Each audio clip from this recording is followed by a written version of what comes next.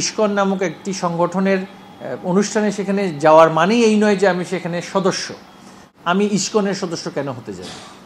যেই বক্তব্যের একটা পুরনো, অনেক আগের একটা সমাবেশে যাওয়া বক্তব্যের রেশ ধরে এই আলোচনাটা তারা করছে বা অপপ্রচারটা করছে, সেটা হচ্ছে যে একটি ধর্মীয়, সনাতন ধর্মীয়, ধর্মাবলম্বীদের একটি অনুষ্ঠানে আমি গিয়েছিলাম এবং সেখানে বলেছি যে শৈশবে আমার বাবা আলহাজ এ মহিউদ্দিন চৌধুরী তিনি আমাকে নানান সময়ে নানান ধরনের ধর্মীয় প্রতিষ্ঠানে আমাকে নিয়ে গিয়েছেন একজন অসাম্প্রদায়িক মানুষ হিসেবে আমাদেরকে বড় করার জন্য আমাদের যেটা দলের যেটা আমাদের রাজনৈতিক অঙ্গীকার, তিনি নিজেও ব্যক্তিগতভাবে অত্যন্ত ধর্মপরায়ণ মানুষ ছিলেন এবং অসাম্প্রদায়িক মানুষ ছিলেন। তার মানে এই নয় যে সনাতন ধর্মাবলম্বীদের কোনো পূজা মণ্ডপ বা মন্দির সেখানে পর্যটক হিসেবে বা যে কোনোভাবেই আমরা সেখানে গেলেই যে আমাদের ইমান দুর্বল হয়ে যাবে, এটা গ্রহণযোগ্য নয়। এবং অনেক আলে ওলামা বৃন্দও কিন্তু বলেছেন যে সেখানে ইমান দুর্বল হয়ে যাওয়ার কোনো বিষয় নেই।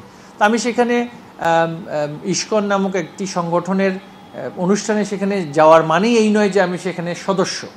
বা সেখানে অনুষ্ঠানের মধ্যে কোনো সেখানে খাদ্য দ্রব্য যেটা দেওয়া হচ্ছে খাবার যেটা দেওয়া হচ্ছে প্রসাদ হিসেবে যেটা দেওয়া হচ্ছে, সেটা সেখানে সেই প্রসাদ যদি কেউ গ্রহণ করে, সেই প্রসাদ যদি সেখানে যদি মানে ইসলাম ধর্মীয় যে আমাদের যে খাদ্য গ্রহণের ক্ষেত্রে যে ধরনের বিধিনিষেধ আছে, হালাল, হারাম সেই ধরনের যদি কোনো বিষয় না থেকে থাকে, তাহলে সেটা গ্রহণ করার মধ্যে তো মানুষের ইমান দুর্বল হয়ে যাওয়ার কথা নয়। তো এটা একটা অপপ্রচার, এবং সেটা গ্রহণ করেছি, এই এইটা বলে আমি একটা বক্তব্যে বলেছিলাম, এবং সেটাকে, সেটা রেশ ধরে আমাকে ষড়যন্ত্রমূলকভাবে এই ইস্কনের সদস্য বলে প্রচার করা হচ্ছে, সেটা আমি প্রতিবাদ জানাচ্ছি। এটা একেবারেই একটা পরিকল্পিত ষড়যন্ত্র।